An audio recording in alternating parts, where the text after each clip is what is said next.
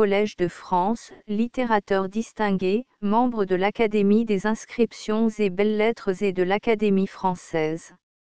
Anne d'Autriche. Reine de France. 1602 à 1666 fille aînée de Philippe II, roi d'Espagne, elle épousa Louis XIII, roi de France, et, à sa mort, devint régente pendant la minorité de son fils Louis XIV. Anne Polona. Reine des Pays-Bas, 1795 à 1865. Elle était une des filles de l'empereur Paul de Russie et épousa en 1816 le roi Guillaume II des Pays-Bas. Anne Stuart. Reine d'Angleterre. 1665 à 1714 fille de Jacques II. Elle lutta contre Louis XIV et réunit l'Écosse à l'Angleterre. Entrebus, Lady, 1800 à 1885. Anne, fille unique de Hugh Lindsay, épouse de Sir Edmond Entrebus.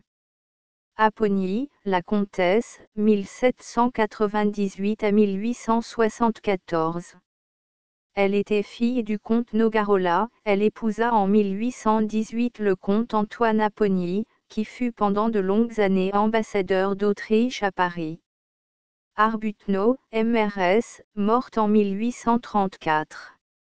MRS Arbuthnot et son mari Charles Arbuthnot, surnommé Gauche dans le monde, étaient les amis les plus intimes du duc de Wellington, chez lequel il vivait, et très répandu dans la haute société de Londres. Arenberg, la duchesse d, née en 1730.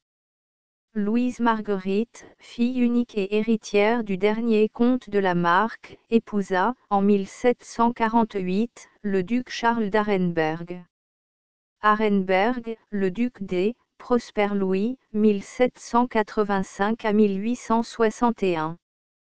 Il avait épousé une princesse Lobkowitz en 1819. Arenberg, le prince Pierre d. 1790 à 1877. Il épousa en première noces, en 1829, mademoiselle de Talleyrand-Périgord, qui mourut en 1842. En 1860, il se remaria avec la fille du comte Kanitz Rieter, veuve du comte Antoine Staremberg. Arenberg, la princesse Pierre d. 1808 à 1842 Alix Marie-Charlotte, fille du duc et de la duchesse de Périgord. Argenson, le comte Voyédé, 1771 à 1842 petit-fils de Marc-Pierre d'Argenson, ministre de la guerre sous Louis XV. Il était entré au service militaire en 1791. En 1809, il fut préfet du département des Deux-Nettes, Anvers. Député sous la Restauration et le gouvernement de Juillet, il se fit remarquer par ses opinions libérales. Il avait épousé la veuve du prince Victor de Broglie, mère du duc Victor. Arnauld, Antoine Vincent, 1766 à 1834. Poète tragique et fabuliste français. Il s'attacha de bonne heure à Bonaparte, qui l'accompagna en Égypte et qui le nomma gouverneur des îles Ioniennes, puis, il travailla à l'organisation de l'instruction publique. Il fut admis à l'Institut dès 1799 et devint en 1833 secrétaire perpétuel de l'Académie française. Ashley, Sœur Antoine, 1801 à 1881. Homme politique et philanthrope anglais. En 1830, il épousa Lady Emily Cooper et, en 1851, à la mort de son père, devint Lord Shaftesbury. En 1826, il était entré à la Chambre des communes, et fit partie de plusieurs ministères. Atalin, le baron Louis-Marie, 1784 à 1856. Général du génie en France, il fit avec distinction les campagnes de l'Empire, reçut le titre de baron après la bataille de Dresde des Devins, sous la Restauration, aide de camp du duc d'Orléans. Il fut chargé de plusieurs missions diplomatiques et nommé pair de France quand Louis-Philippe monta sur le trône. Après 1848, il rentra dans la vie privée.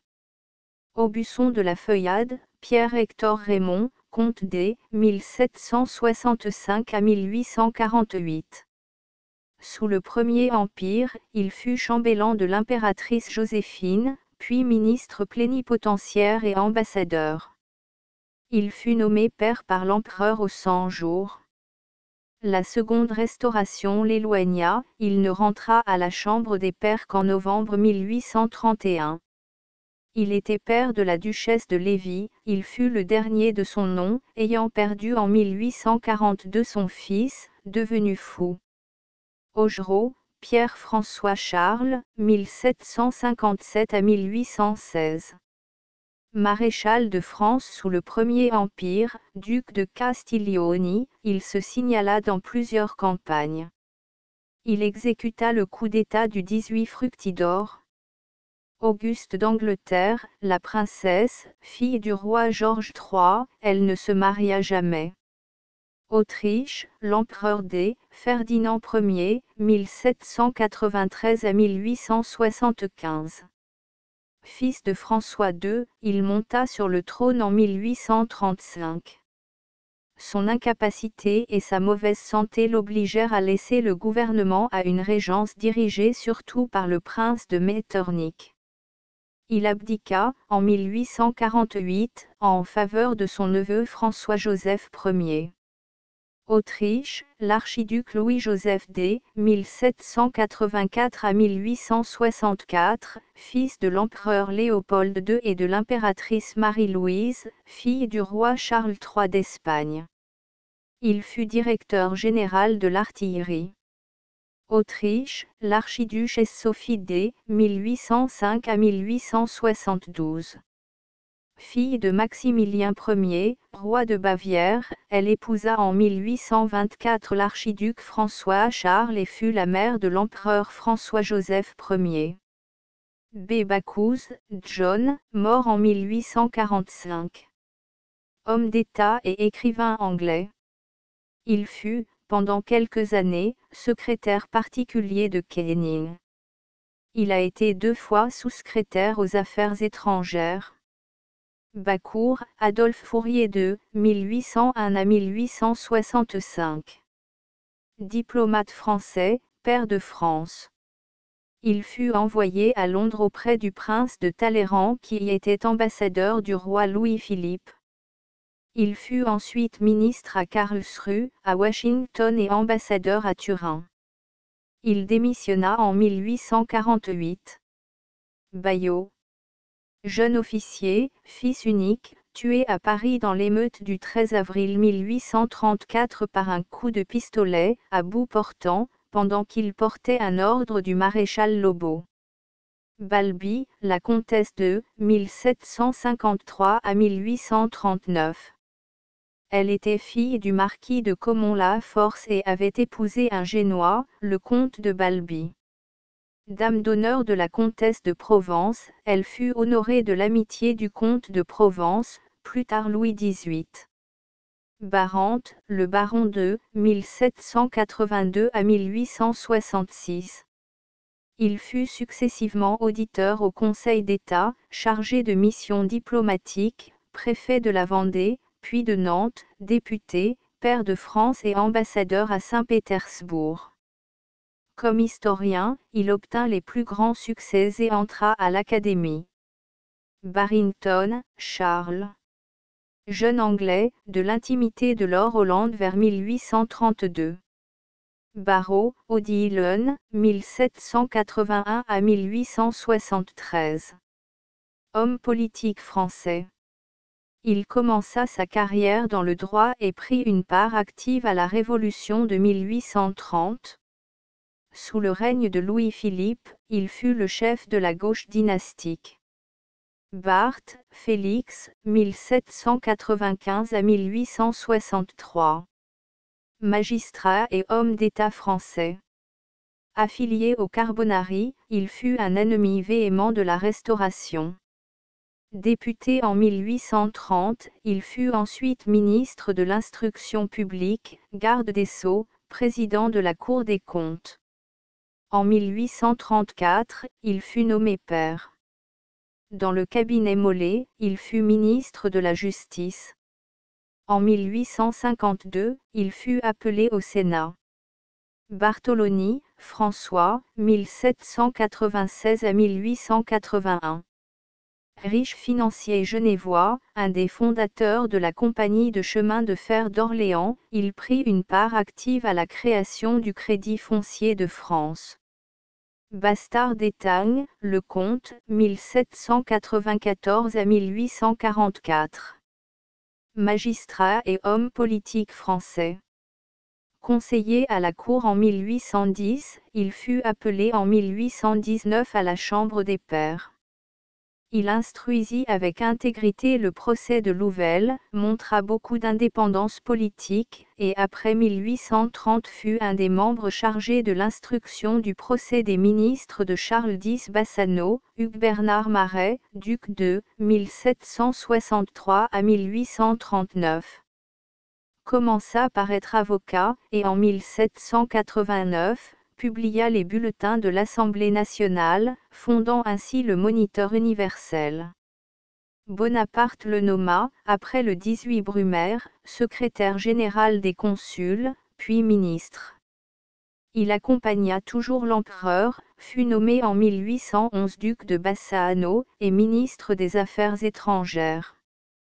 Nommé père de France en 1831 par le roi Louis-Philippe, il fut un instant ministre de l'Intérieur et président du Conseil en 1834. Bassano, duchesse de, Madame Marais, femme du duc de Bassano, fut dame d'honneur des impératrices Joséphine et Marie-Louise. Bathurst, Henri, comte, 1762 à 1834. Homme d'État anglais, un des plus éminents du parti Tory. Il fut ministre des Affaires étrangères, de la guerre, du commerce, des colonies, président du conseil formé par le duc de Wellington dont il était l'ami intime, et se montra l'ennemi acharné de Napoléon Ier qu'il fit reléguer à Sainte-Hélène. Battiani, la comtesse, 1798 à 1840. Elle était née baronne d'Arenfell et avait épousé le feld-maréchal comte Bubna, Devenue veuve en 1825, elle se remaria en 1828 avec le comte Gustave Battiani Stratman. Baudran, Marie-Étienne François, comte de 1774 à 1848. Général français, servi sous la République, dans les armées du Rhin et d'Italie, prit part comme chef d'état-major à la bataille du Mont-Saint-Jean, devint père de France sous Louis-Philippe, aide de camp du duc d'Orléans au siège d'Anvers en 1832 et, en 1837, gouverneur du comte de Paris. Beauharnais, Eugène II, 1781 à 1824. Fils du général de Beauharnais et de Joséphine Tascherer de la Pagerie, plus tard impératrice par son second mariage avec Bonaparte, Eugène de Beauharnais prit une part active aux guerres de l'Empire. En 1805, il fut nommé vice-roi d'Italie et en 1806 il épousa la princesse Auguste, fille du roi de Bavière. Après la chute de Napoléon, il se retira en Bavière, avec le titre de duc de Leuchtenberg. Beauharnais, Hortense de 1783 à 1837. Fille de l'impératrice Joséphine, elle épousa, en 1802, Louis Bonaparte, roi de Hollande, et fut mère de Napoléon III. La Restauration lui donna une pension et le titre de duchesse de Saint-Leu. Beauharnais, Stéphanie de 1789 à 1860 fille de Claude de Beauharnais, chambellan de l'impératrice Marie-Louise, elle avait épousé en 1806 le grand-duc Charles-Louis Frédéric de Bade, dont elle devint veuve en 1818. Beauvau, la maréchale, princesse de 1720 à 1807. Marie-Charlotte de Rohan-Chabot avait d'abord épousé en 1749 JB de Clermont d'Amboise, devenue veuve, elle se remaria en 1764 avec le prince de Beauvau. Beauvilliers, la duchesse de 1774 à 1824. Elle était la septième fille du duc de Mortemar et de son premier mariage avec mademoiselle d'Harcourt. Elle épousa le duc François de Beauvilliers de Saint-Aignan, père de France. Bedford, John, duc de 1766 à 1839. Il épousa d'abord une fille du vicomte de Torrington, et en seconde noces, une fille du duc de Gordon. Son troisième fils fut Lord John Russell. Bedford, la duchesse de, morte en 1853 fille d'Alexandre, duc de Gordon, elle épousa en 1803 le duc de Bedford. Béra, la duchesse de 1793 à 1874.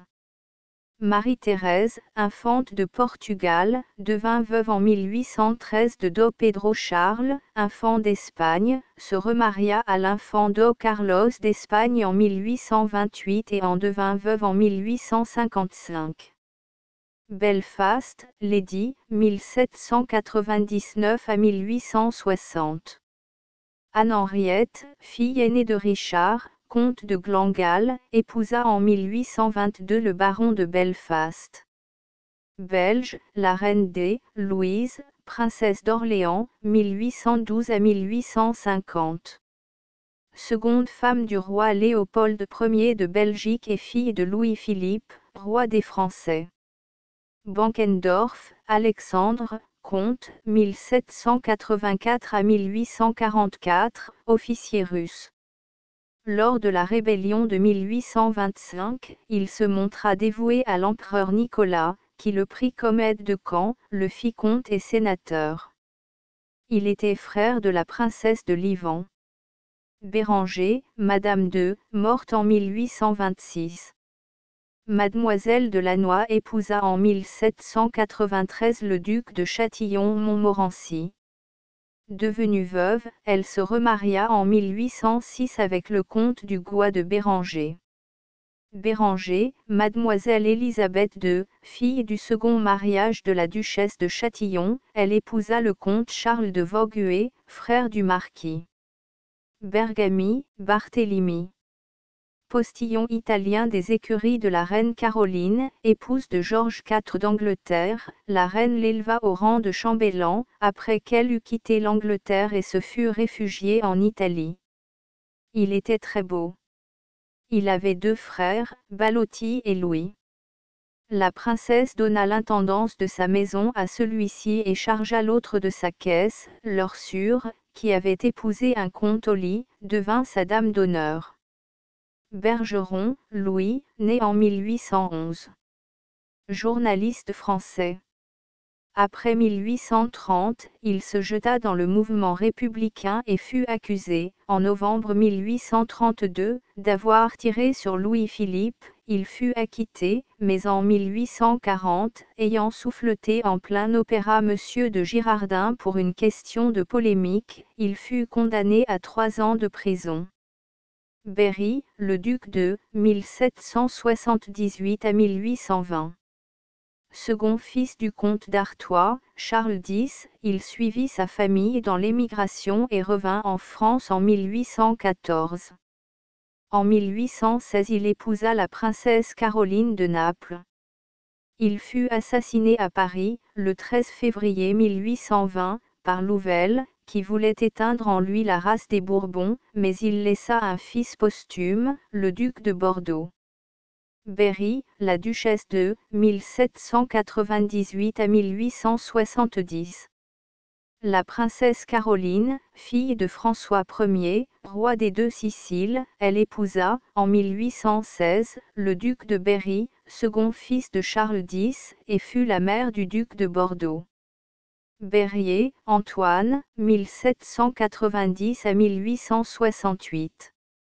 Avocat de premier ordre, orateur du parti légitimiste, il fut plusieurs fois député et entra à l'Académie en 1855. Il avait épousé, à 20 ans, mademoiselle Caroline Gauthier. Ces dernières années se passèrent dans la retraite, dans sa terre d'Augerville.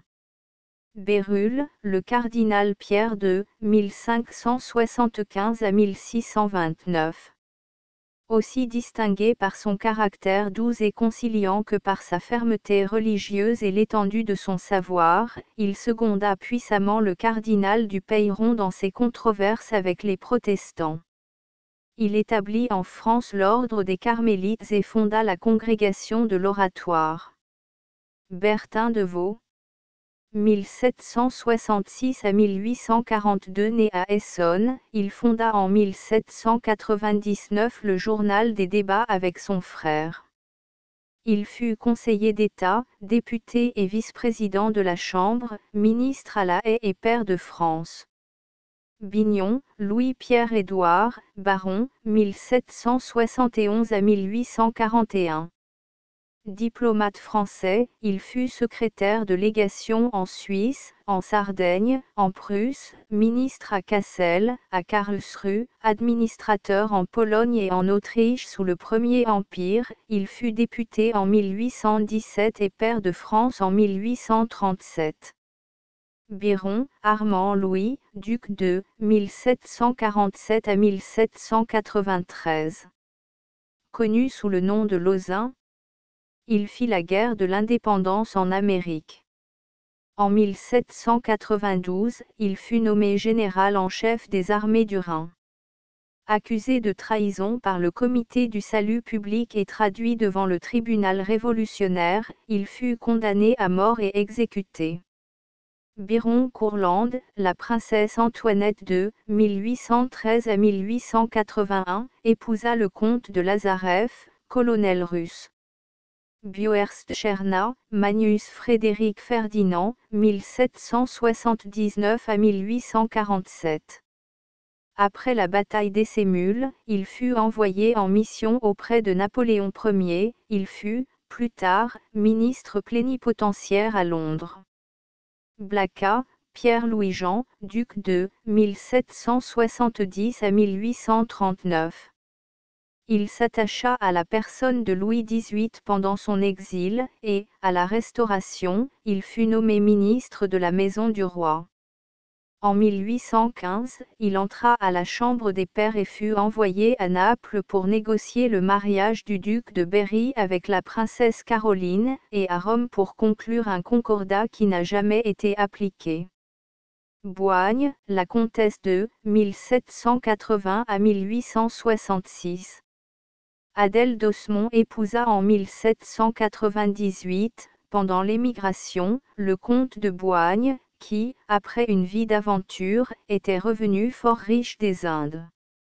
De 1814 à 1859, le salon de Madame de Boigne fut, à Paris, l'un des plus importants du monde aristocratique, diplomatique et politique. Le duc Pasquier en était le plus fidèle habitué, Bois Milon, Jacques Dominique de 1795 à 1871. Professeur français. Il fut choisi comme secrétaire du duc d'Orléans, plus tard, il fut attaché au comte de Paris et promu officier de la Légion d'honneur en 1845. Boissy, Mademoiselle Rouillet de Sur du marquis de Boissy, de France, elle avait épousé le comte Pierre d'Aubusson qui devint fou, et dont elle devint veuve en 1842. Elle mourut elle-même en 1855. Bolivar, Simon, 1783 à 1830. Le libérateur de l'Amérique.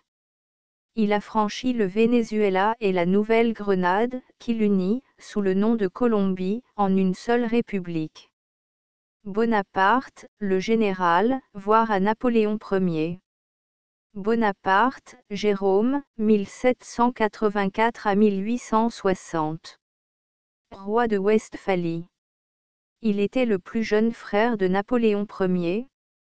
Dans sa jeunesse, il avait épousé Miss Peterson dont l'empereur le força à divorcer pour épouser la princesse Catherine de Wurtemberg.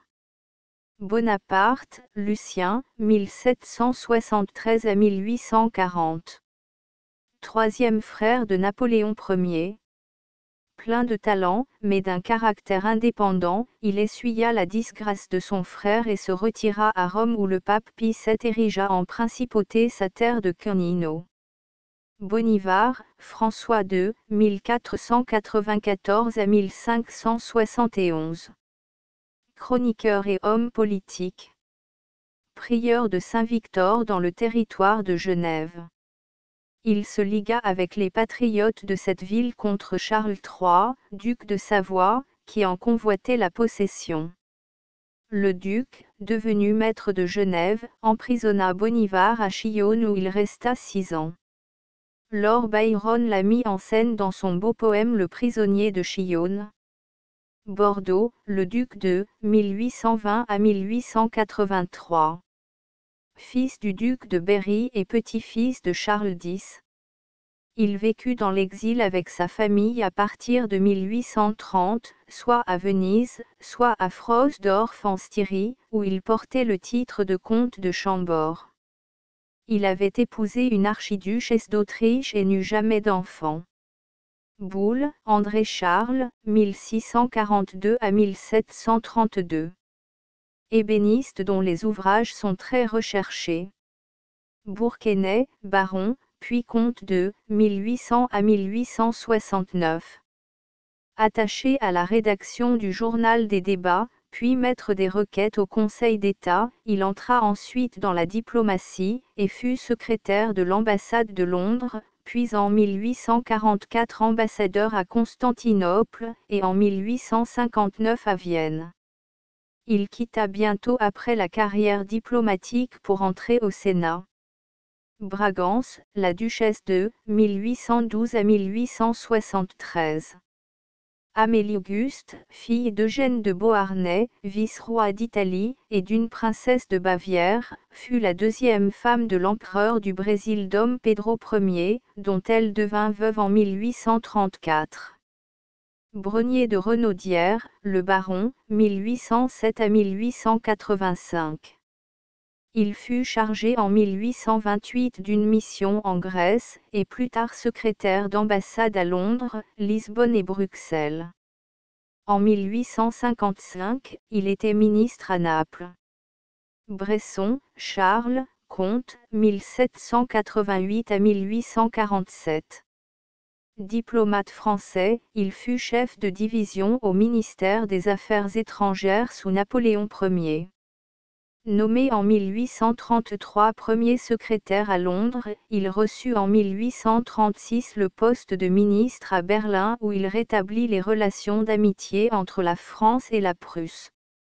En 1841, il devint ambassadeur à Madrid, et, en 1847, à Naples où il se tua bientôt, dans un accès de démence. Bretonneau, Pierre, docteur, 1778 à 1862. Célèbre médecin français, résidant à Tours, son pays d'origine, où il s'était établi, indifférent à la renommée. Il fut une des gloires médicales de la France et fit beaucoup de bien aux pauvres. Broglie, le duc de Achille Charles Victor, 1785 à 1870. Membre de la Chambre des Pairs, il s'y honore en défendant le maréchal Ney, lors de son procès. Attaché au parti doctrinaire, il fut plusieurs fois ministre sous Louis-Philippe. Il fut membre de l'Académie française. Il avait épousé la fille de Madame de Staël. Broglie, la duchesse de 1797 à 1840. Albertine de Staël épousa en 1814 le duc Victor de Broglie. Madame de Broglie était belle, sérieuse, pieuse et passait pour un peu sévère.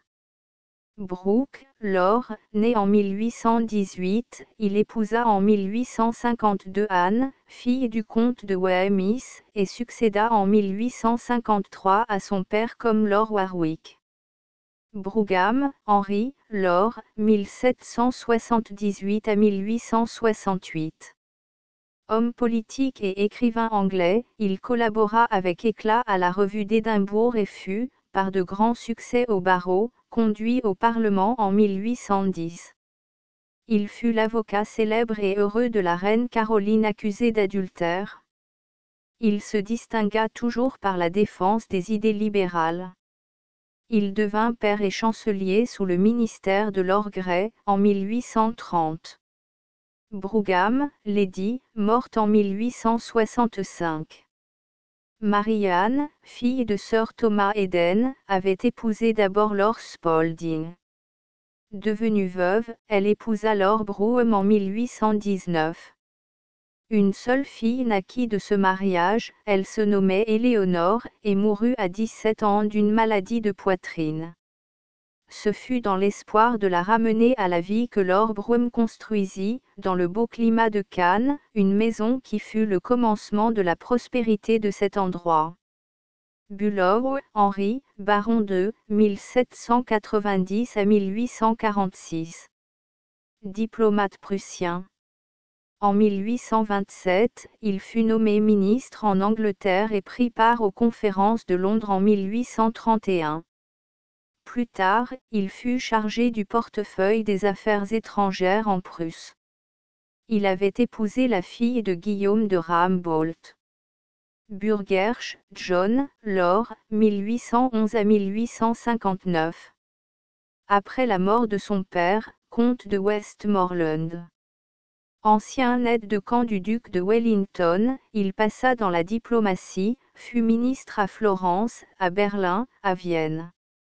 Grand musicien, il a composé plusieurs opéras. Butra, le prince de, mort en 1841 anglais, du nom de Wilding, qui avait épousé la princesse de Butera, d'une grande famille de Palerme. Par un décret du roi des deux Siciles, il fut autorisé en 1822 à ajouter ce titre à son nom. En 1835, un autre décret lui accorda, en toute propriété, le titre de prince de Radoli qu'il porta jusqu'à sa mort. Il ne laissa point d'enfants. Byron, Georges Gordon, Laure, 1788 à 1824. Célèbre poète anglais. Au moment de l'insurrection hellénique, il se rendit en Grèce et mourut à Missolonghi. C'est Calomarde, François Thaddée, 1775 à 1842 homme d'État espagnol qui fut l'âme de la politique de son pays après le rétablissement de Ferdinand VII, il fit partie, en 1824, du ministère de Grâce et de Justice, où il sut se conserver une influence prépondérante sur les déterminations du roi. Il devint l'âme du parti rétrograde, prit part au décret par lequel Ferdinand VII abolissait la loi salique en Espagne, et fit punir sévèrement les tentatives carlistes. Mais lors de la grave maladie du roi en 1832, où on le crut mort, Calomarde fut le premier à saluer Do Carlos du titre de roi, et la reine Christine devenue régente l'exila dans ses terres. Il allait y être arrêté lorsqu'il s'enfuit en France où il vécut dans la retraite jusqu'à sa mort. Cambridge, la duchesse Auguste de 1797 à 1889. Elle était fille du landgrave Frédéric de Escassel, et épousa en 1818 le duc Adolphe Frédéric de Cambridge, septième fils du roi George III d'Angleterre. Elle devint veuve en 1857. Campan, Madame, 1752 à 1822. Jeanne Genet, devint à 15 ans lectrice de Mesdames, fille de Louis XV. Elle épousa M. Campan et devint première femme de chambre de Marie-Antoinette. Pendant la Révolution, retirée dans la vallée de Chevreuse, elle y fonda un pensionnat où Madame de Beauharnais fit entrer sa fille. Napoléon Ier nomma, plus tard, Madame Campan surintendante de la maison qu'il fonda à Écouen pour l'éducation des filles de la Légion d'honneur. Canino, Charles-Jules Laurent, prince de et de Musignano, 1803 à 1857. Fils de Lucien Bonaparte, il épousa une fille de Joseph Bonaparte. Président de l'Assemblée constituante romaine en 1848, naturaliste distingué, correspondant de l'Institut de France. Canizzaro, la duchesse de elle était anglaise, et avait épousé François de Plantamonet, duc de Canizzaro, qui fut pendant plusieurs années ministre des deux Siciles accrédité à la cour d'Angleterre. Canning, Georges, 1770 à 1827. Homme d'État anglais. Il laissa le barreau et se fit nommer à la Chambre des communes en 1793, y soutint Pitt qui le fit nommer sous-secrétaire d'État. Plus tard, il fut dans l'opposition, puis fut ambassadeur à Lisbonne. Il voyagea sur le continent et ses liaisons avec les libéraux de Paris changèrent ses principes. En 1822, il fut appelé au ministère des Affaires étrangères et s'employa, depuis lors, à des réformes libérales. Il fit des efforts généreux en faveur des catholiques. Canning, Charles John, Comte, 1812 à 1862. Homme d'État anglais, fils de G. Canning. Il entra en 1836 à la Chambre des communes du côté de l'opposition dirigée par Sir Robert Peel. À la mort de son père, il entra à la Chambre des Lords et fut sous-secrétaire d'État aux Affaires étrangères. En 1846, il fut nommé directeur général des eaux et forêts, en 1852, directeur général des postes, puis gouverneur des Indes, où il eut à lutter pendant deux ans contre l'insurrection. Canning, Lady, 1817 à 1861. Fille aînée de Lord Stuart de Rossi, elle épousa Lord Canning en 1835 et mourut sans laisser d'enfant. Canova, Antoine, 1757 à 1822. Célèbre sculpteur italien. Capodistria, Jean-Antoine, comte, 1776 à 1831. Né à Corfou, il fit son éducation en Italie et entra au service russe. L'empereur Alexandre Ier l'employa à plusieurs missions en Allemagne, en Turquie, en Suisse, il fut plénipotentiaire au deuxième traité de Paris en 1815. Plus tard, retiré en Suisse, il prêta son appui aux Grecs révoltés. Il fut assassiné par les fils du bey des Ménotes. Carlisle, George William, vicomte Morpeth, Laure, 1802 à 1864. Petit-fils, par sa mère, de la belle duchesse de Devonshire, il remplit avec distinction les fonctions de Lord lieutenant d'Irlande, sous le ministère libéral de Lord John Russell. Carlotta, l'infante, 1804 à 1844 fille du roi des deux Siciles, sur de la reine Marie-Christine d'Espagne et épouse de Do Francesco de Polo, infant d'Espagne. Caroline, la reine, 1781 à 1821. Fille du duc de Brunswick, elle épousa en 1795 le prince de Galles qui fut régent en 1810 et devint roi d'Angleterre en 1820 sous le nom de George IV son mari l'accusa publiquement d'adultère dans un procès célèbre. L'enquête ne constata que des inconséquences chez cette princesse. Carache, Hannibal, 1560 à 1609.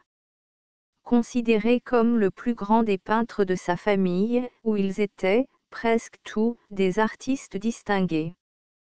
Carrel, Armand, 1800 à 1836 célèbre publiciste français. Ancien élève de Saint-Cyr, il prit une part active aux conspirations semi-libérales, semi-bonapartistes sous la Restauration, et, au moment de la Révolution espagnole, alla secrètement soutenir les constitutionnels. Il quitta l'épée pour la plume, devint rédacteur en chef du National, journal fondé par messieurs Thiers et Mignet dans le but de hâter la chute des Bourbons et de préparer l'avènement de la Maison d'Orléans. Ce ne fut qu'en 1832 que le national arbora le drapeau républicain. Carrel se battit en duel avec Monsieur de Girardin et mourut 48 heures après, des suites de ses blessures. Castellane, André, marquis de 1758 à 1837. Député de la noblesse en 1789, il s'unit au tiers-État et fut secrétaire de l'Assemblée constituante. Jeté en prison pendant la Terreur, il n'échappa à la mort que par la chute de Robespierre. En 1802, il fut nommé préfet des Basses-Pyrénées, et, ensuite, maître des requêtes au Conseil d'État. Louis XVIII le nomma pair de France en 1815 et lieutenant général l'année suivante. Il fut le père du maréchal de Castellane. Castellane, comtesse de 1796 à 1847. Cordelia Grefful, épousa en 1813 le comte de Castellane, plus tard maréchal de France. Castlerag, Robert Stewart, marquis de Londonderry, vicomte, 1769 à 1822. Entra de bonne heure à la Chambre des communes où il soutint la politique de Pitt ennemi acharné de la Révolution française, âme des coalitions contre Napoléon Ier, il fournit des subsides aux puissances pendant qu'il était ministre de la guerre. Lors du congrès de Vienne, en 1815, il sacrifia la Pologne, la Belgique, la Saxe et Gênes, sa conduite fut vivement attaquée au Parlement. Dans un accès de démence, il mit fin à ses jours. Castries, Armand Charles-Augustin de la Croix, duc de 1756 à 1842. Député aux États généraux, il avait fait comme colonel la guerre de l'indépendance en Amérique. Il défendit énergiquement les prérogatives de la royauté et blessa au bras Charles de Lameth dans un duel né d'une discussion politique, ce qui l'obligea à passer en Allemagne. En 1814, il fut nommé pair de France, général de division. Plus tard, il se rallia à la monarchie de Juillet. Catherine d'Aragon, 1483 à 1536. Fille de Ferdinand d'Aragon et d'Isabelle de Castille, elle épousa successivement Henri VII et Henri VIII d'Angleterre. Ce dernier la répudia pour épouser Anne de Boleyn, et ce divorce fut l'origine du schisme en Angleterre. Catherine de Médicis, 1519 à 1589. Reine de France. Fille de Laurent II de Médicis, elle épousa Henri II, roi de France, et fut régente pendant la minorité de son second fils Charles IX. Catherine avait apporté d'Italie le goût des arts, elle construisit le palais des Tuileries et continua le Louvre. Catherine Polona, la grande duchesse, 1788 à 1819. Fille de l'empereur Paul Ier de Russie, elle épousa d'abord le prince Pierre de Holstein, puis Guillaume Ier, roi de Wurtemberg, dont elle eut une fille. Colincourt, la comtesse de, morte en 1835. Blanche d'Aubusson, épousa en 1812 Auguste Jean-Gabriel de Colincourt, qui fut tué à la bataille de la Moscaova, et qui était frère du duc de Vicence. Celle, Antoine Charles, comte de Vichères de 1769 à 1841, d'une famille illustre du Brabant, il fut élu député aux États généraux de cette province. Napoléon Ier le nomma maître des requêtes au Conseil d'État et préfet de la Loire inférieure, puis du Zuiderzee. Après 1814, devenu sujet du roi des Pays-Bas, il fut élu pendant quelque temps aux États provinciaux le roi Léopold l'ayant envoyé comme ministre plénipotentiaire en France, M. de Celles se fit naturaliser, et devint conseiller d'État en France en 1833. Il était le beau-frère du maréchal Gérard. Chaban la Palisse, le comte Alfred de 1799 à 1868. Il fut d'abord garde du corps de Louis XVIII, puis chef d'escadron et colonel après le siège d'Anvers. Il devint général de brigade et aide de camp du roi Louis-Philippe en 1840. Il quitta le service en 1848 et suivit la famille royale en exil. Chabannes, Louisa II, 1791 à 1869. Religieuse carmélite, elle fut supérieure du couvent de Paris pendant plusieurs années, puis de celui de Bruxelles où elle mourut. Cholet, la princesse de Marie-Françoise de Rochechouart-Mortemart, épousa en première noces le marquis de Quény dont elle eut une fille qui fut la grand-mère du prince de Talleyrand. Elle épousa, en seconde noces, Louis-Charles de Talleyrand, prince de Cholet, qui mourut en 1757. Elle était dame du palais de la reine. Cholet, la princesse de, morte en 1834. Éloli Pauline Beauvilliers de Saint-Aignan, épousa en 1832 Élie Roger de Talleyrand Périgord, prince de Cholet, titre que porte le fils aîné du chef de cette maison. Chantelose, Victor II, 1787 à 1859. Député et dernier garde des sceaux de Charles X, il avait rédigé les fameuses ordonnances qui amenèrent la Révolution de juillet, il fut arrêté et condamné à la prison perpétuelle. L'amnistie de 1837 le rendit à la liberté. Charlemagne, 742 à 814 roi des Francs, chef de la dynastie des Carolingiens, il succéda à son père Pépin le Bref en 768, en 800 le pape Léon III le couronna empereur d'Occident. Charles Ier, roi d'Angleterre, 1600 à 1649.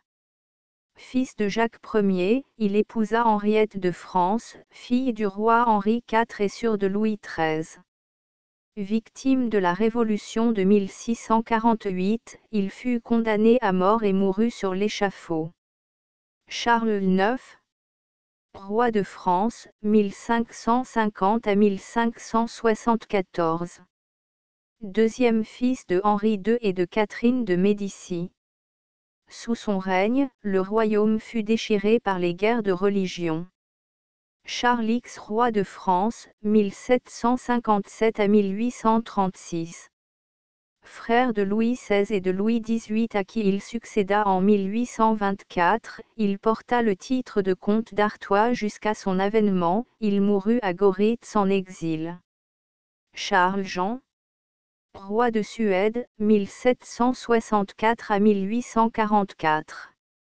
Général Bernadotte, prince de Pont-Corveau, maréchal de France, il épousa mademoiselle Cléry, sœur de la femme de Joseph Bonaparte. Après la mort de Charles XIII de Suède qu'il avait adopté, il devint en 1818 roi de Suède et de Norvège. Charlotte de Prusse, la princesse, 1798 à 1860. Fille du roi Frédéric Guillaume III, elle épousa en 1817 le grand-duc Nicolas de Russie qui succéda sur le trône à son frère Alexandre Ier.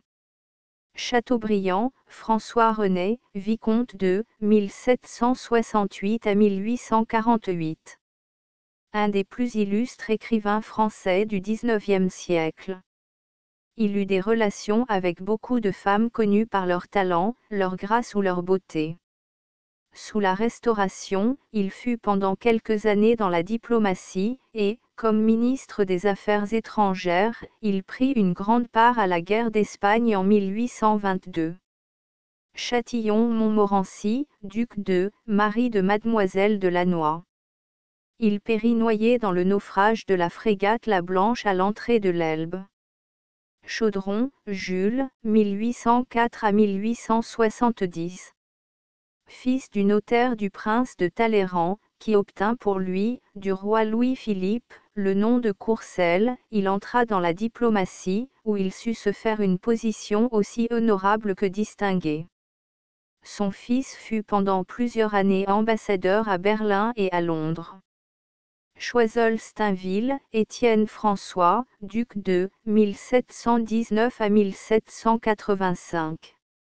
Homme d'État français, ambassadeur, puis ministre, de 1758 à 1770, sous Louis XV, il fit conclure le pacte de famille.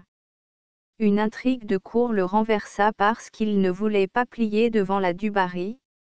Relégué dans sa terre de Chanteloup, il y reçut, malgré le roi, le témoignage de l'estime publique.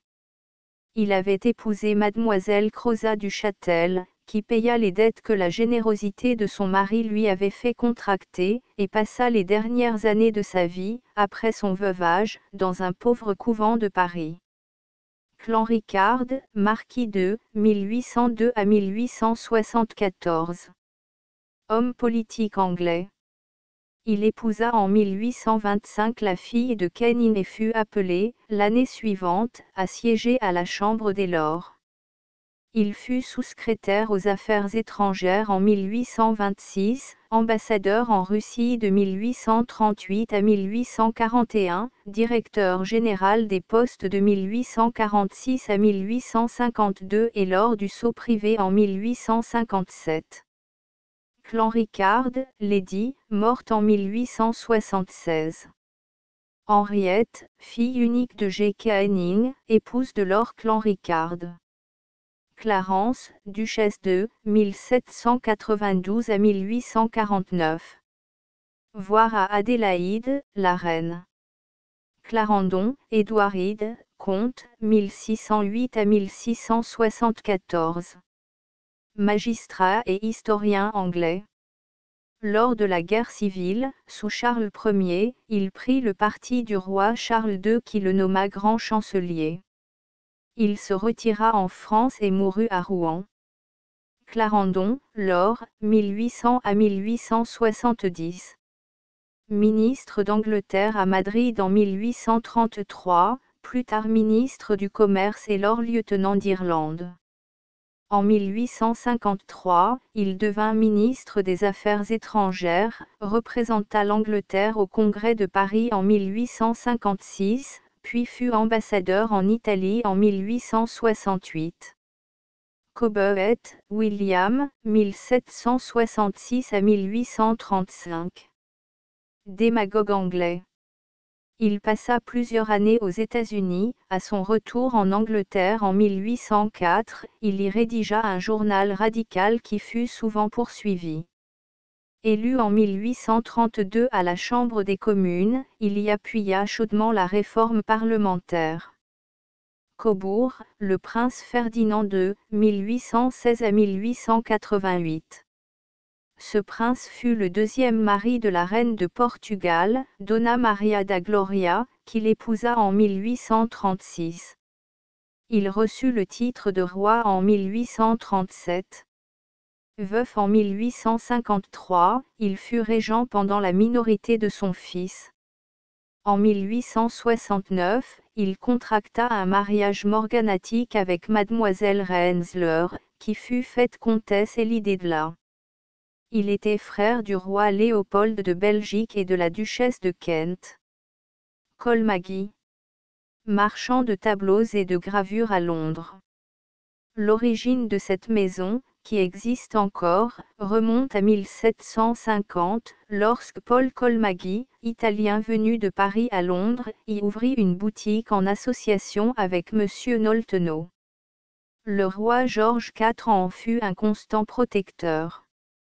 Conroy, Sir John, 1786 à 1854.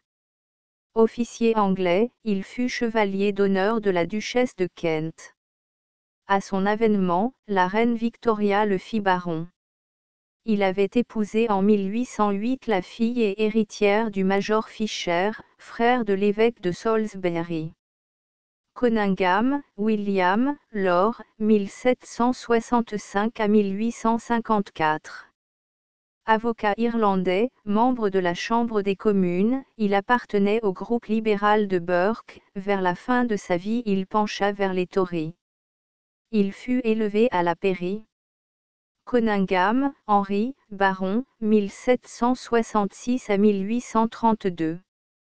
Il épousa la fille aînée de Joseph Denison. Conyngham, Lady. morte en 1861.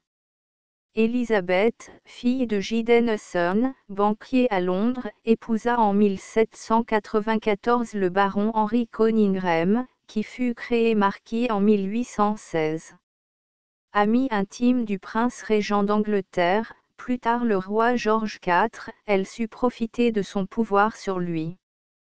Coningham, François Nathaniel, marquis de 1797 à 1882. Il portait, du vivant de son père, le nom de Charles. Il se signala dans les affaires publiques par ses idées libérales, fut sous-secrétaire d'État aux affaires étrangères, lors de la trésorerie, directeur des postes en 1834, membre du conseil privé en 1835 et vice-amiral de l'Ulster en 1849. Corinne, femme poète de la Grèce, 5e siècle avant Jésus-Christ. Cousin, Victor, 1792 à 1867. Philosophe et écrivain français, père de France, directeur de l'école normale et membre de l'Académie française. Il fut un instant ministre de l'instruction publique sous Monsieur Thiers en 1840. Cali, Lady, 1796 à 1860.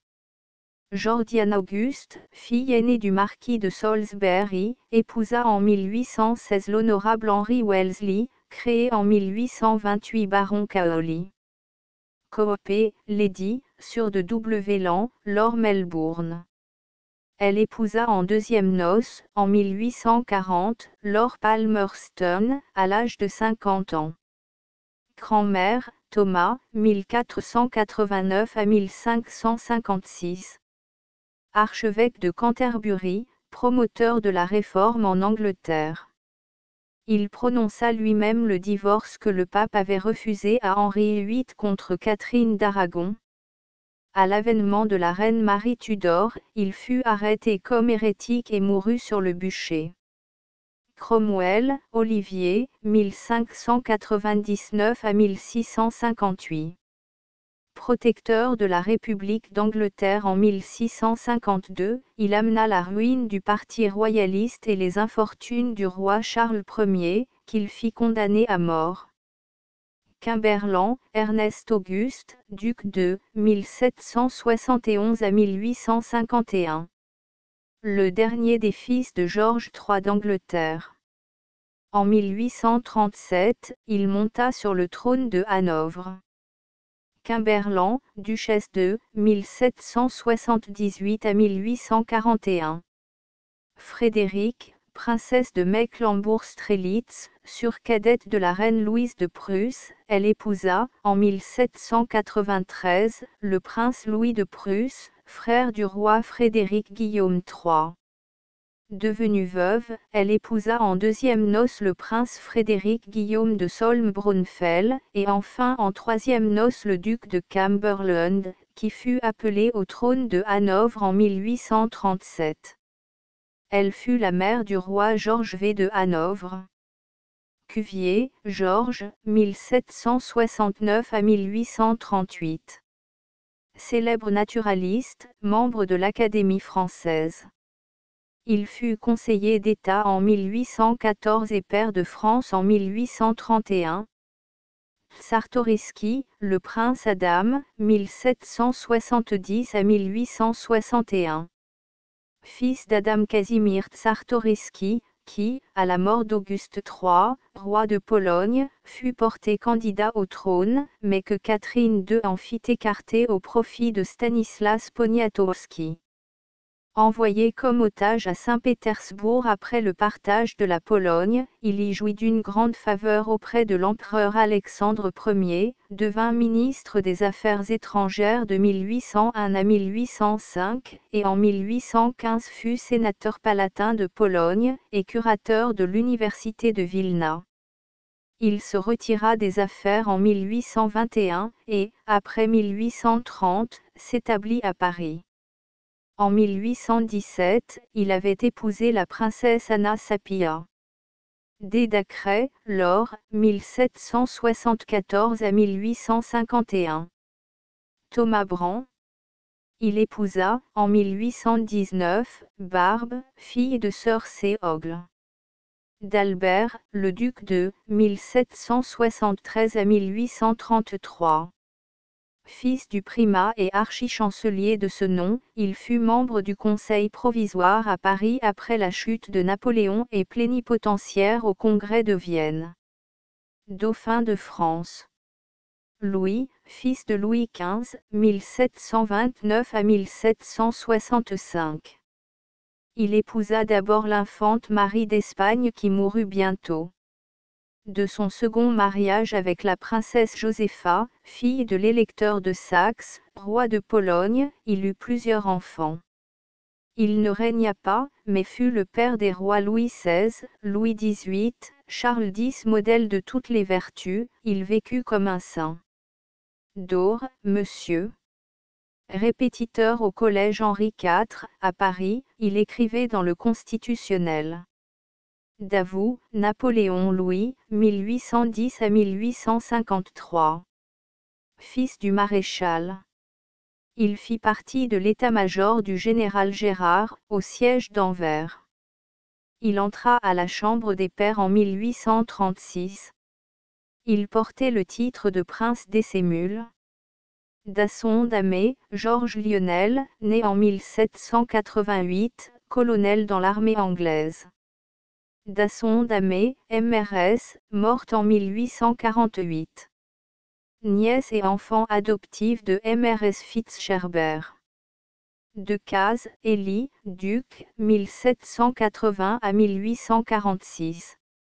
Il fut d'abord avocat, puis attaché au service du roi Louis de Hollande. Il fut fait ensuite ministre et père de France par Louis XVIII. En 1820, il dut quitter le ministère, les royalistes exaltés ne craignant pas de lui imputer l'assassinat du duc de Berry, créé duc, il fut envoyé comme ambassadeur en Angleterre. Après 1830, il se rallia à Louis-Philippe et fut nommé grand référendaire de la cour des pairs de Cazes, la duchesse. Fille du comte de Saint-Aulaire et de mademoiselle de Soicourt, petite fille, par sa mère, du dernier prince de Nassau-Sarrebruck et petite nièce de la duchesse de Brunswick-Bevern, qui obtint de Frédéric VI, roi de Danemark, la transmission du duché de Glücksbourg en faveur du duc et de la duchesse de Cazes, à leur mariage en 1818. Elle fut la deuxième femme du duc de Cazes. Dédel, Salomon, 1775 à 1846. Diplomate danois, il fut ambassadeur en Suède, en Espagne, en Angleterre. Il mourut à Londres. Demion, monsieur. Homme d'affaires de la famille Montmorency, du prince de Talleyrand et des James Rothschild. Il administra pendant plusieurs années les terres de Valençay. Denison, Albert, 1805 à 1860. Second fils du marquis de Coningham. Par sa mère, il hérita des grandes propriétés de son oncle Denison et prit alors ce nom. Il fut créé baron de Londébourg en 1850.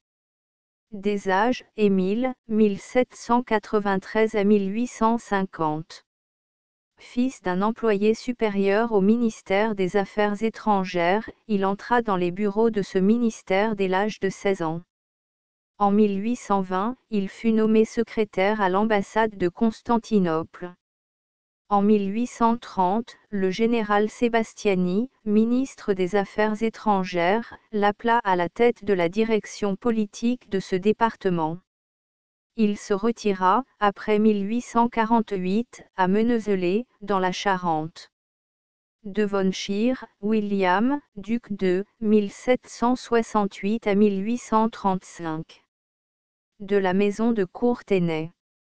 Le titre s'étant éteint dans la ligne aînée, le duc parvint à le reprendre, après avoir établi devant la Chambre des Lords en 1831 que, par ses lettres patentes de 1553, la reine Marie avait stipulé que le titre, à défaut de ligne directe, passerait aux héritiers de la ligne collatérale. Devonshire, la marquise de morte en 1806. Fille de Laure Spencer, elle avait épousé en 1774 le marquis de Devonshire. Diane de Poitiers, 1499 à 1586. Fille aînée de Jean de Poitiers, seigneur de Saint-Vallier, Diane épousa à 13 ans Louis de Brézé. Elle fut la favorite du roi Henri II, qui la fit duchesse de Valentinois et lui donna le château d'Annay, un des plus beaux ouvrages de cette époque. Didot, Firmin, 1764 à 1836. Il se distingua de bonne heure par les progrès qu'il fit faire à la typographie, déjà illustrée par son père et son frère aîné. Il fut élu député en 1827.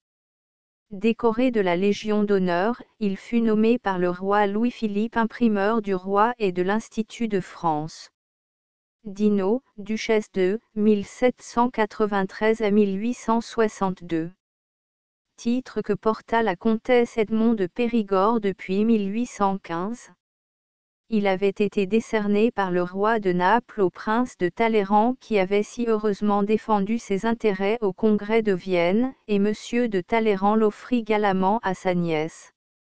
Dolomieu, la marquise de 1779 à 1849. Dame d'honneur de la reine Marie-Amélie, à qui elle était très dévouée. Madame de Dolomieu était la sœur de Madame de Montjoie, dame de Madame Adélaïde. Dom Miguel, 1802 à 1866. Il fut régent du royaume de Portugal, pendant la minorité de sa nièce, la reine Donna Maria da Gloria, il en profita pour s'emparer du trône et se faire déclarer roi en 1828. Dom Pedro Ier revint alors du Brésil, et après une lutte assez vive il parvint à reconquérir la couronne pour sa fille, et il força Dom Miguel à quitter le Portugal. Dom Antonio, l'infant, 1755 à 1817. Un des infants espagnols internés à Valençay par Napoléon Ier. En revenant de sa captivité, il fut nommé grand amiral de Castille. Do Carlos de Bourbon, 1788 à 1855. Second fils de Charles II et frère de Ferdinand VII, roi d'Espagne, il fut détenu avec son frère à Valençay. Ferdinand VII ayant terminé son règne en 1833 en abolissant la loi d'hérédité et en léguant sa couronne à sa fille Isabelle, do Carlos protesta, fut exilé, rentra en Espagne en 1834 et commença la guerre civile. Vaincu en 1839, il se réfugia en France, puis en 1847 à Trieste où il mourut. Do Francesco, 1794 à 1865. Infant d'Espagne, il épousa en 1819 la princesse Carlate, fille du roi des deux Siciles et sûre de la reine Christine. Donadieu, Gabriel, 1777 à 1849. Général français. Il embrassa avec ardeur les principes de la Révolution, s'enrôla et fut attaché longtemps au corps d'armée de Moreau. Soupçonné d'intrigue sous le consulat et l'Empire, il passa à plusieurs reprises de la grâce à la disgrâce. Il se rallia à Louis XVIII qui lui conféra le grade de lieutenant général. D'Orsay, le duc de 1795 à 1815. Il se tua en tombant de cheval, et ne laissa pas d'enfant. Il était le frère de Lady Plymouth. Le titre de duc de Dorset a été donné à la famille Sackfield par la reine Élisabeth d'Angleterre. Dorset, Charles, vicomte de Sackfield, duc de 1767 à 1843, oncle du précédent et héritier de son titre. Il ne se maria jamais point, il était très lié avec le roi Guillaume IV d'Angleterre. Dosne, Madame, Mademoiselle Sophie Eurydice Matron, épousa en 1816 Monsieur Dosne, agent de change. Elle était née en 1788. Ses parents tenaient un magasin de mercerie en gros dans le faubourg Montmartre. Douglas, le marquis de 1811 à 1863. Plus tard duc de Hamilton. En 1843, il épousa la princesse Marie de Bade. Il mourut à Paris des suites d'un accident. Drouet d'Erlon, 1765 à 1844. Maréchal de France, il s'était enrôlé sous la République et avait fait les campagnes de l'Empire. Il fut un des plus empressés à reconnaître Napoléon Ier à son retour de l'île d'Elbe, et commanda le premier corps d'armée pendant les Cent jours. Il combattit à Waterloo. Condamné par contumace, il trouva un asile en Prusse et ne reprit de service en France qu'en 1830. Il fut nommé gouverneur d'Algérie en 1834. Duchâtel, Charles Tanneguy, comte, 1803 à 1867. Homme politique français. Il fut successivement conseiller d'État, député, ministre. Il fut membre de l'Académie des sciences morales et politiques. D'un canon, John William, 1781 à 1847. Il avait épousé, en 1805, Marie, fille de Lord Westmoreland. D'opinion très libérale, il fit partie en 1834 du ministère Melbourne avec le portefeuille de l'Intérieur. En 1835, il fut créé Lord Bessborough. Dupéré, l'amiral, 1775 à 1846.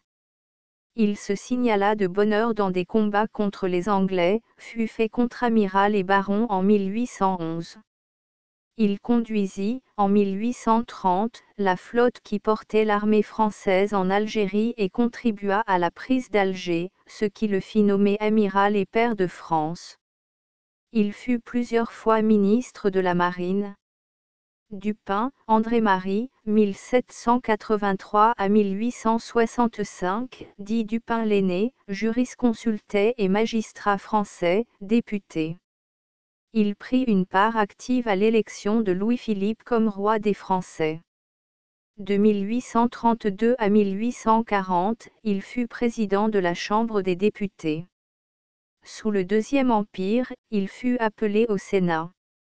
Dupin, Pierre-Charles François, baron, 1784 à 1873. Le dernier des trois Dupin. Statisticien français. Membre de l'Institut, de la Chambre des Pairs, il se montra également dévoué à la dynastie d'Orléans et à la charte de 1830. Durham, John Lanton, comte de 1792 à 1840. Gendre de l'Orgray. Il était entré au Parlement et siégea dans les rangs des Whigs avancés. En collaboration avec Lord John Russell, il élabora le Grand Bill de réforme en 1831, il fut plus tard ambassadeur en Russie et gouverneur du Canada. Durham, Lady, 1816 à 1841. Louise Elizabeth, fille de Lord Grey, deuxième femme de Lord Durham. E. East Nord, Lord, 1788 à 1873. Il avait épousé, en 1815, la fille de Lord Hardwick. East-Nord, Lady, morte en 1873.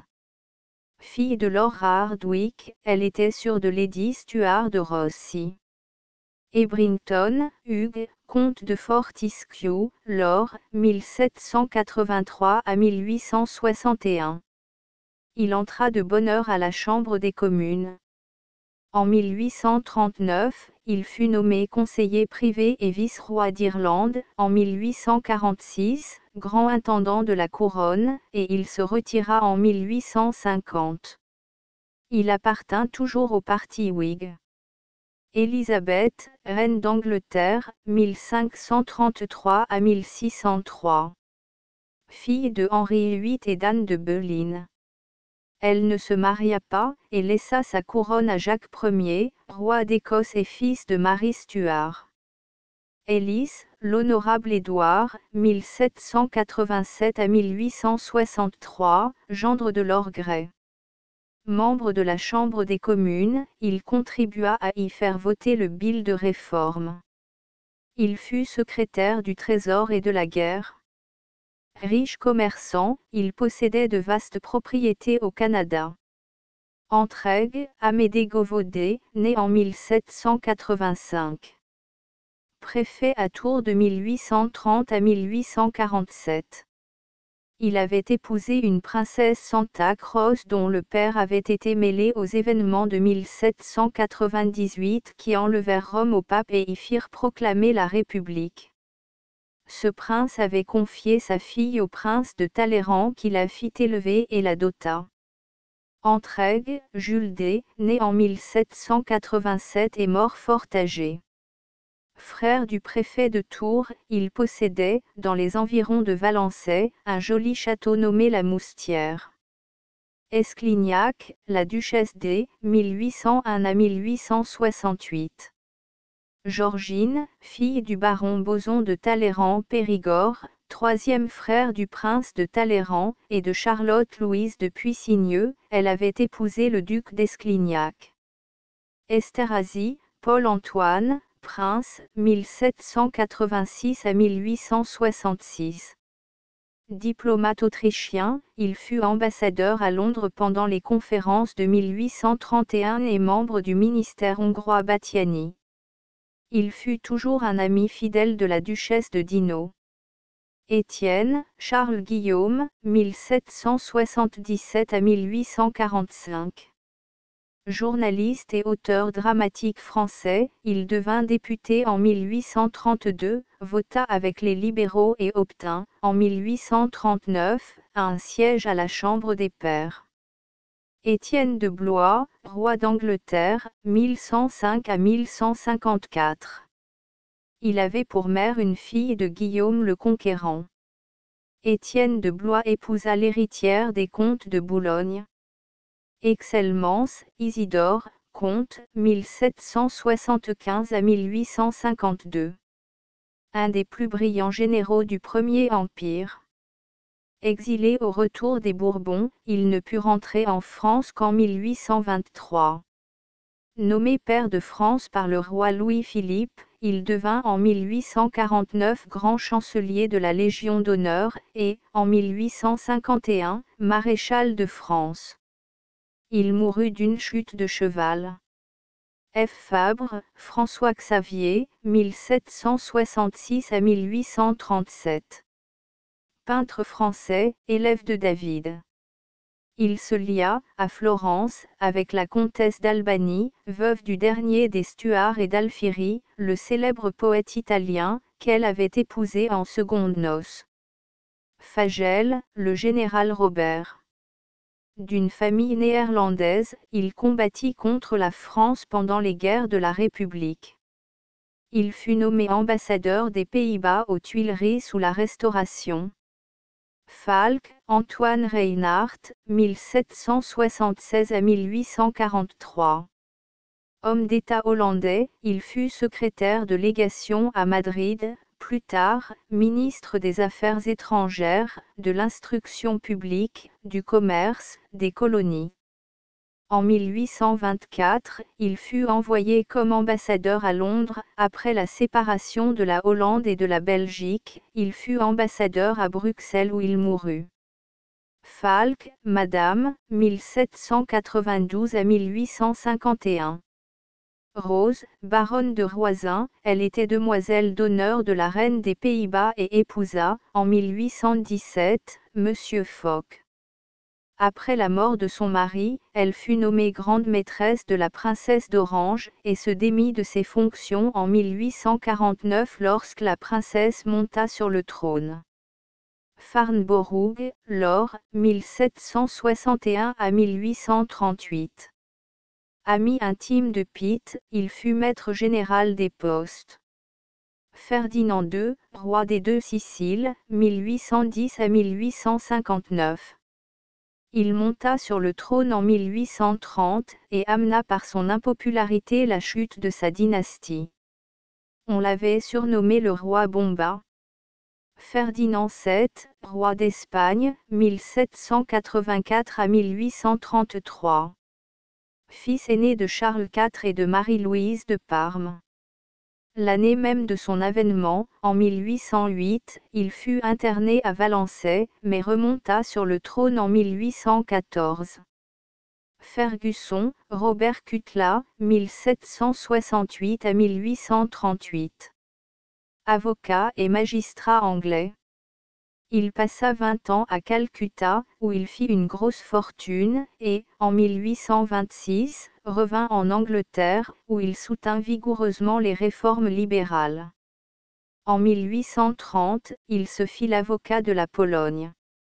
En 1831, il épousa une Française, mademoiselle Auger, dont il eut deux enfants. Ferrette, Étienne, bailli de 1747 à 1831. Il était déjà bailli de l'ordre de Malte en 1767 et ambassadeur de cet ordre à Paris. En 1805, les domaines de Malte à Eyterschim ayant été sécularisés et incorporés au Grand-Duché de Bade, le baron de Ferret fut indemnisé par une pension viagère de 60,000 livres et nommé ministre de Bade auprès de l'empereur Napoléon Ier, plus tard, auprès de Louis XVIII. Il démissionna en 1830. Il avait beaucoup de relations à Paris et était un ami du prince de Talleyrand. Ferré Laure, 1822 à 1859. Washington Sewellis, comte Ferrers. Ferré Lady, épousa en 1844 Laure Ferrers. Elle se nommait Rebelle et était fille du marquis de Donegal. Fieschi, Joseph, 1790 à 1835, né à Murano, Corse, il tenta de faire périr le roi Louis-Philippe pendant une revue le 28 juillet 1835, à Paris, au moyen d'une machine infernale dressée dans une maison vers le milieu du boulevard du Temple. Le roi et les princes échappèrent, mais 22 personnes furent blessées et 18 tuées, parmi lesquels le maréchal Mortier, duc de Trévise, ministre de la guerre. Fieschi fut condamné à mort avec ses complices Pépin et Moret. Fitz-Clarence, Alphonse, Laure, 1802 à 1856. Troisième fils illégitime du roi Guillaume IV d'Angleterre et de l'actrice MRS Jordan. Il fut contre-amiral et aide de camp naval de la reine Victoria. Fitzpatrick, Richard, 1747 à 1813. Il fut général et se distingua dans la guerre d'Amérique. Il entra au Parlement en 1870, fut secrétaire du duc de Portland, lord-lieutenant d'Irlande, et, en 1783, secrétaire au ministère de la guerre, il fut un constant ami de Fox. Fitzpatrick, monsieur. Né en 1809, il épousa en 1830 la fille d'Auguste Douglas. Il fut capitaine dans l'armée anglaise et membre du Parlement. Fitzroy Somerset, Lord, 1788 à 1855. Plus tard Lord Raglan. Fils cadet du comte de Beaufort, aide de camp du duc de Wellington, aux côtés de qui il perdit le bras droit à Waterloo. Il mourut du choléra sous Sébastopol, où il commandait l'armée anglaise. Fitzroy Somerset, Lady, morte en 1881. Elle était fille de Lord Wellesley, et nièce du duc de Wellington, chef et ami de Lord Fitzroy Somerset, qu'elle épousa, en 1814. Flao, le général comte de 1785 à 1870. Aide de camp de Napoléon Ier, il fut, sous Louis-Philippe, père de France, et sous Napoléon III ambassadeur et sénateur. Ses parents étaient pauvres, et le prince de Talleyrand avait contribué en partie aux frais de son éducation. Flao, la comtesse de, morte en 1867. Elle était fille de Lord Kate Nern, amiral anglais. Fouché, Joseph, duc d'Otrante, 1763 à 1820. Maître de police sous l'Empire, homme habile, mais sans convictions et sans scrupules. Fougière, mademoiselle de. Elle épousa le marquis Christian de Niquelet. Son fils, Antoine, épousa mademoiselle de Vauguet, et sa fille Aymardine, Paul de Large. Fox, Charles-Jacques, 1748 à 1806. Un des plus grands orateurs de l'Angleterre. Député, il entra dans l'opposition et fut bientôt à la tête du parti Whig. Défenseur de la tolérance et de la liberté, il se montra favorable à la Révolution française et ne cessa de conseiller la paix avec la France. François Ier, roi de France, 1494 à 1547. Fils de Charles d'Orléans, comte d'Angoulême, et de Louise de Savoie, il succéda, en 1515, au roi Louis XII dont il avait épousé la fille Claude. Frédéric II le Grand. Roi de Prusse, 1712 à 1786. Guerrier illustre, il fonda la puissance militaire de la Prusse. Amateur des lettres et se piquant de philosophie, il attira Voltaire à sa cour et fut en relation avec les encyclopédistes. Fria, le duc de 1783 à 1851. D'Obernardino Fernandez Villano, comte de Haro, duc de Frias, duc de Méda, marquis de Villaine. Depuis 1796, il servit dans la Guardia Volona et devint capitaine. Il épousa Donna Mariana de Siloa, fille du marquis de Santa Cruz le duc de Frios fut ambassadeur d'Espagne à Londres et devint ensuite président de la Chambre haute établie par la charte qu'octroya la reine Marie-Christine en 1834 et appelée El Estatuto Real. Il était homme de lettres et a laissé des poésies. Fulchiron, Jean-Claude, 1774 à 1859. Littérateur et homme politique français. Élève de l'école polytechnique, il servit dans l'artillerie. En 1831, élu député, il se montra, pendant 15 ans, le constant défenseur de la politique conservatrice. Père de France en 1845, il rentra dans la vie privée en 1848. Gégaët, Martin Charles Gaudin, duc de 1756 à 1841 ministre des Finances sous Napoléon Ier, qui le créa duc. Il fut député sous la Restauration, et, en 1820, gouverneur de la Banque de France. Garcia, Manuel, 1775 à 1832. Compositeur et artiste lyrique espagnol, il fut le père de Madame Malibran et de Madame Viardot. Garobe, Jean-Alexandre Valton de 1790 à 1859. Il suivit la carrière militaire et se signala d'abord par son zèle légitimiste. Son dévouement pour la duchesse d'Angoulême lui valut le surnom de chevalier du brassard et une faveur qui, pendant quinze ans, ne se démentit pas. Il se rallia à Louis-Philippe en 1830, en 1831, il était colonel et député. Il se montra, en général, fidèle à la politique des doctrinaires. Il fut admis à la retraite en 1852 avec le grade de général de brigade. Gaston d'Orléans, 1608 à 1660. Troisième fils du roi Henri IV et frère de Louis XIII. Il porta le titre de duc d'Anjou jusqu'en 1624, où il reçut en apanage le duché d'Orléans. Il joua un rôle déplorable pendant la Fronde, passant sans cesse d'un parti à un autre. C'était, du reste, un homme spirituel, ami des lettres et des sciences. Il laissa une seule fille, la célèbre mademoiselle, duchesse de Montpensier. Gothard, Monsieur de, mort en 1839. Il possédait, près de Bex, le château Grenier. Très estimé, il fut beaucoup regretté quand il mourut des suites d'un accident, l'esprit de vin dont il dirigeait la fabrication ayant pris feu et fait explosion. Georges III, roi d'Angleterre, 1738 à 1820. Il monta sur le trône en 1760, succédant à son grand-père Georges II. Il étendit les conquêtes de l'Angleterre aux Indes et réunit définitivement l'Irlande.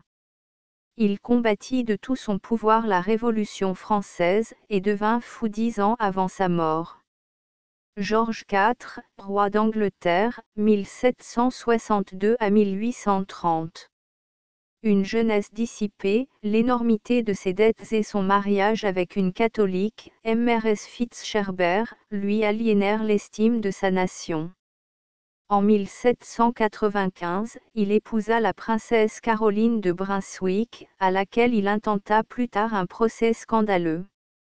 En 1811, le Parlement lui donna la régence par suite de la démence de son père. Il monta sur le trône en 1820, ce fut à lui que Napoléon adressa sa lettre pour réclamer l'hospitalité de l'Angleterre, après sa seconde abdication. Georges V, roi de Hanovre, 1819 à 1878. Il succéda à son père le roi Ernest Auguste en 1851, malgré sa cécité. En 1866, il perdit ses États, qui passèrent à la Prusse, après avoir absolument refusé toute entente avec elle. Gérard, Étienne Maurice, comte, 1773 à 1852. Ayant adopté la carrière militaire, il fit toutes les campagnes de la République et de l'Empire. La Restauration l'éloigna. En 1830, il devint ministre de la guerre, et en 1831 maréchal. Commandant de l'expédition de Belgique, il prit la citadelle d'Anvers et fut élevé à la pairie en 1832. Gessler, Hermann. Bailli des cantons de Schwyz et d'Uri pour Albert Ier d'Autriche, il fut, par sa cruauté, cause de l'insurrection du pays en 1307, et, selon la tradition, périt de la main de Guillaume Tell.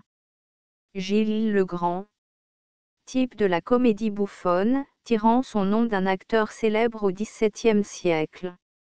Girardon, François, 1630 à 1715. Sculpteur, protégé par le chancelier Séguier qui l'envoya étudier à Rome, il fit plusieurs ouvrages très estimés.